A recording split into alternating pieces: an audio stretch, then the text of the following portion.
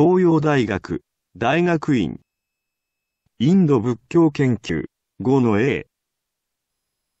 インド密教研究所説。第8回。敦煌密教とチベット仏教ンマッハ皆さんこんにちは。インド仏教研究 5A 担当の非常勤講師田中公明です。5月25日に緊急事態宣言が解除になりましたがいまだに対面式講義の再開についての連絡がないため第8回の講義についてもその内容を予約したビデオコンテンツを制作し受講者の皆さんに視聴していただくことにしました。今回は敦煌密教とチベット仏教任務派です。敦煌はチベットネパールやオリッサと並んで私の研究の重要なフィールドですが日本では敦煌に密教が存在したこと自体ほとんど知られていません。本講義が皆さんの視野を広げるものになれば幸せです。今回も講義の内容をまとめ YouTube にアップロードしましたが90分のビデオコンテンツを制作するとデータが膨大となるため全体を圧縮し詳しい内容については講義の中で紹介する参考文献を勉強していただきたいと思います。レポートは本コンテンツを視聴した意見感想を豊ネットエースを通じて提出してください。提出した方を出席とみなします。それではビデオコンテンツの視聴を始めてください。敦煌密教と私。1900年に敦煌バッコークスの増強堂から広大な文献と海外類が発見されてから120年が経過しようとしています。発見された資料は東洋学の各分野に新知見をもたらし、敦煌学と呼ばれる一分野が形成されました。我が国でも敦煌学は1960年から80年代にかけて優勢を迎えました。しかし現在、少なくとも我々が関わってきた仏教に関しては、敦煌研究は一段落した感が否めません。特に漢文仏典に関しては、カタログの観光や画像データベースの公開により、研究はすでに成熟の域に達したと言っても良いでしょう。一方、仏教美術に関しては、再域美術シリーズが講談社から刊行され、シタイン、ペリオ、リオコレクションの全容が我が国にも広く知られるようになりました私が敦煌出土のチベット語仏教文献に関わるようになったのは当時東京大学でチベット語を講じていた山口随宝教授の下でスタイン収集チベット語文献解題目録を編集するようになったからです。最初は全くの手探りでしたがやがて重要な密教文献が多く含まれていることに気がつきました。一方美術に関しては秋山照和教授を中心に講談社の佐域美術、義目美術館ペリオコレクション編の刊行が進められており私もいくつかの項目を担当することになりましたそこで2000年にこれまでの研究成果をまとめ宝蔵館から敦煌密教と美術を刊行したのですここで敦煌密教の研究がインド密教を知る上でどうして重要なのか簡単に説明したいと思います。中国日本の密教は基本的には大日教混合調教系のものでインドで7世紀から8世紀全般までに成立した中期密教の聖典に基づいています。これに対してチベット・ネパールの密教はインドで9世紀以後に発展した後期密教に基づいています。ところが中期密教から後期密教への移行期の資料は中国、チベットともに乏しいのです。ところが敦煌は8世紀の末にチベットの吐蕃王国に占領され、その占領は9世紀半ばまで続きました。そして敦煌では吐蕃占領期にチベット密教が伝播し、漢民族の仏教と混交して行われたことが分かってきました。つまり敦煌密教の研究は中国日本密教の根本であるインド中期密教とチベット密教の源流であるインド後期密教への移行期の状況を知る上でかけがえのない資料と言えるのです。しかし私の敦煌密教と美術は我が国ではほとんど注目されず忘れ去られたも同然になっていましたところが拙著に収録した3編の論文が敦煌研究員の劉映像研究員によって中国語訳され2002年から2010年にかけて敦煌研究に収録されましたさらに2007年にイェール大学で開催された国際学会に参加し敦煌研究員のスタッフと名刺を交換したところ敦煌研究員では私の著書が評判になっていることを知りました。そこで2019年9月に劉英蔵氏とともに四川大学造学研究所の閣議教授を訪ね道庁造法改定の上中国語版として刊行することで合意したのです。現在は欧米の敦煌学者も皆中国語が読めるようになっているのでもし私の著書の中国語版が刊行されれば私の研究成果が世界に知られるようになるため大いに期待しています。大日教系の敦煌美術。敦煌における大日教系の密教美術としては大英博物館所蔵の大蔵大日八大菩薩像が挙げられます。この作品は従来観音菩薩像あるいは阿弥陀八大菩薩像と呼ばれてきましたが私がラトナギリの大蔵大日八大菩薩像や同時期にチベットで制作された作品との比較から大蔵大日八大菩薩像に否定し私の説が次第に認められるようになっています。この作品の八大菩薩にはチベット文字で名文が記されており吐蕃占領期の作品と考えられますこの作品は、敦煌のお隣、歌集油林窟第25窟の八大菩薩曼荼羅です。戦前に撮影された白黒写真によれば、全上院を結ぶ大蔵大日如来の左側にも4体の菩薩が描かれていましたが、現在は壁面の崩落により失われています。この作品の八大菩薩には、漢字とチベット文字で尊名を記入する名札が設けられていましたが、チベット語の尊名が記された形跡はなく、吐蕃の崩壊による混乱で、チベット文字が記入されることなく放置されたと推定する研究者もいます。したがって成立年代は9世紀半ばと思われます。私が調査したところ、全上院を結ぶ大蔵大日に八大菩薩を配した作品は、吐蕃時代のチベットで多数の作例を残したことが分かりました残念ながらそれらのいくつかは文化大革命中の破壊活動で失われましたが青海省玉受験の美土大日如来堂の大蔵大日八大菩薩像は名文から9世紀初頭に吐蕃王の長寿を祈って造立されたことが明らかな魔外物です。吐蕃ではティソンデツェン王の時代に大日教がチベット訳され、敦煌から出土した眷属を伴うビルシャナ山というチベット語の山では、四菊経典に従するビルシャナ仏が八大菩薩の眷属を伴うことが説かれています。最近発見された吐蕃の教録、パンタンマ目録によれば、この山はティソンゼツェン王の御姓であることが確認されました。チベットでは後期密教の流星ですっかり影が薄くなった大日教ですが、吐蕃時代には国家的な規模で信仰されていたことが分かりました。一方、義目美術館所蔵のレンゲ部八尊曼荼羅は、一面四碑の観音の周囲に七尊の眷属を配した作品です。この作品は大蔵曼荼羅で観音とその眷属が描かれるレンゲ部員との関係が深く、広い意味での大日教系の作品と見ることができます。ただしこの作品には名文がなく、漢民族の仏教とチベット仏教のいずれの系統に属するのか明らかではありません。金剛長教系の敦煌美術義目美術館所蔵の金剛介護仏像は下部に描かれた肝心の世種の年代から10世紀の末北宋時代の作と推定される作品です。中央に大日如来、四方には圧縮、宝生、阿弥陀、福成就の混合開始物を描き、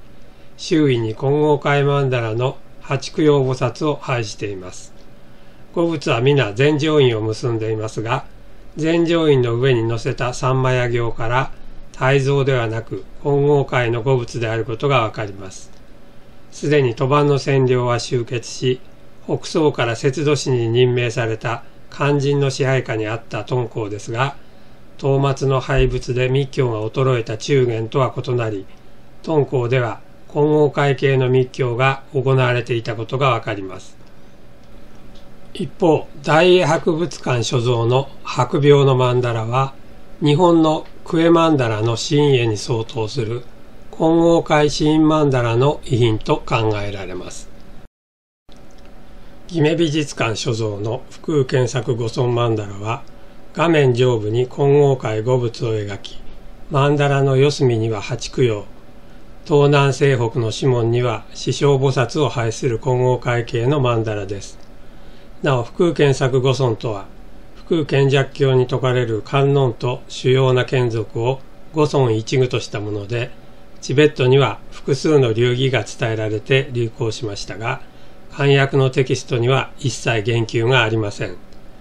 本作品は、賭盤占領の終結から1世紀を経た10世紀半ばの成立で、世氏も肝心の仏教徒ですが、漢訳のテキストには説かれない福建作五尊を曼荼羅の中心に描くところから、チベット仏教の影響を見ることができます。私が先ほどの曼荼羅を福建作五尊に否定した後の1993年、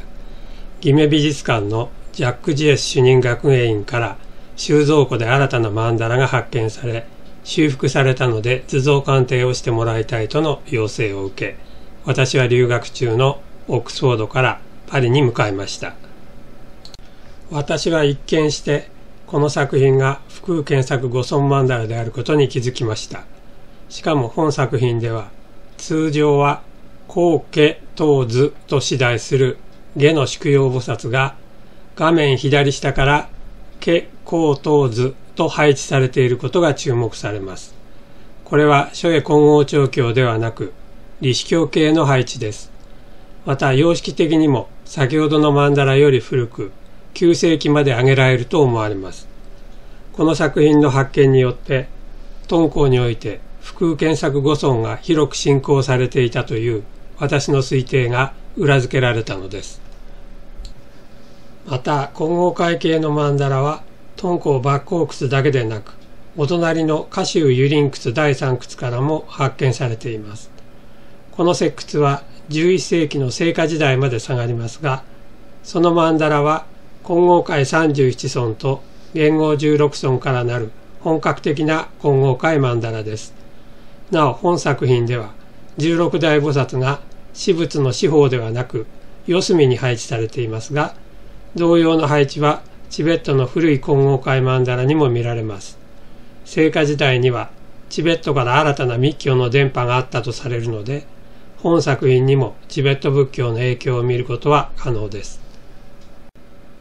ユリン窟のさらに東75キロのところにある東千仏道からも混合界曼荼羅が発見されました。この曼荼羅は五仏十六大菩薩、千原光、師匠の29尊からなりますが、八供養を書いています。この作品は、敦煌とその周辺における混合会系の曼荼羅の最後を飾るものと思われます。さらに敦煌からは、この他にも混合調教系の握手症状タントラの曼荼羅や理子教系の混合去ったご尊像などが発見されていますが、本講義では時間の関係で省略します。チベット古密教の文献と作品敦煌からは多数のチベット語密教文献が出土していますが、その中には吐蕃時代に伝播した古密教の文献が含まれています。古密教は吐蕃のティソンゼツェン王が仏教を国教化した8世紀後半から9世紀前半に導入されました。ところが、吐蕃が仏教を受容した時期、インドでは混合調教系の密教が発展し、煩悩を積極的に評価する後期密教が現れました。そのためトバンでは密教の需要に警戒を示し、9世紀初頭には後期密教のタントラの翻訳を禁止したのです。つまり、大日教混合調教系の密教とは異なり、古密教はトバン公認の仏教ではなかったのです。そこで古密教の法系も鳥羽寛永の寺院ではなく主として在家の密教行者によって伝えられましたそして鳥羽の崩壊後11世紀にインドから新しい密教が伝播すると古密教も教義を整備して忍マ派を形成するようになりましたその中でギメ美術館所蔵の弱上四十二尊曼荼羅は現在の忍マ派に伝えられる弱上四十二尊曼荼羅の現存最古の作例として極めて貴重な作品と言えます。それは今日の弱上四十二尊曼荼羅と同じく五仏、五仏も、八大菩薩、八供養、四分ぬ、四分ぬ比、六道の仏、発心不言不母仏からなりますが、諸村の描き方と配置は現在の任務派のものと全く異なっています。これによって私たちは鳥羽の古密教の実態と混合調教系の中期密教から後期密教への移行期の密教美術を初めて知ることができたのです。一方、大英図書館所蔵の敦煌出土チベット語文献 IOL TIVJ332 は、任マ派の密教図像の根本として弱上四十二尊と並び称される分の58村の儀器であることが分かりました。この他にも敦煌からは多数のチベット古密教文献が発見されましたが、この儀器は一様の欠落もない漢本で、特に任マ派の根本聖典である三和忍法、あるいはグヒアガルバタントラから多数の引用を含むことが注目されます。これらの発見によって従来から偽作の疑いをかけられていた任マ派のタントラが実際にトバン時代に存在したことが確認されたのです。1959年のチベット動乱以来、チベット仏教任マ派は欧米に布教してポピュラーな宗教団体となり、入信したり研究したりする欧米人も少なくありません。そこで私は従来の敦煌密教と美術の第11章敦煌出土の分の58尊儀器を増補改訂し、日英2カ国語版のモノグラフの刊行を準備しています。後期密教系の敦煌美術このように、吐蕃占領期に伝播した古密教は、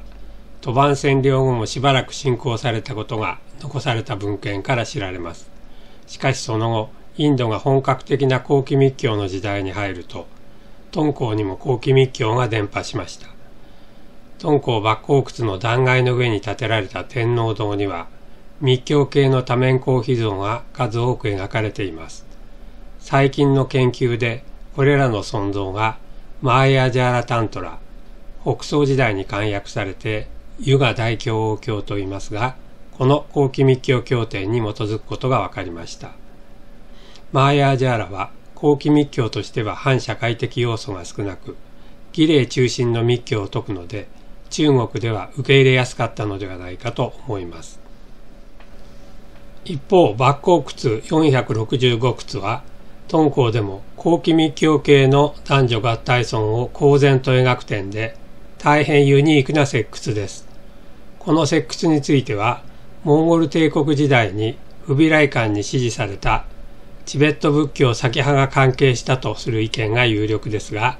成立を聖火時代まで上げる説や、他のチベット仏教教派の影響を指摘する意見もあります。なお、モンゴル帝国の崩壊後、中国に明王朝が成立すると、明はシルクロードの交易を禁止し、火翼間より西の地域を放棄してしまいました。そこで敦煌の密教もモンゴル帝国と運命を共にすることになったのです。講義のまとめそれでは最後に本日の講義をまとめてみたいと思います。敦煌からは兼業の仏教美術だけでなく密教美術も数多く出土していますが時代的に下がるものが多いため日本の美術史家からは注目されてきませんでした。敦煌出土の漢文文献の中に密教関係のものが存在することは従来から知られており宗門系の研究者により研究されてきましたがチベット語密教文献の研究はほとんど手がつけられていなかったのです。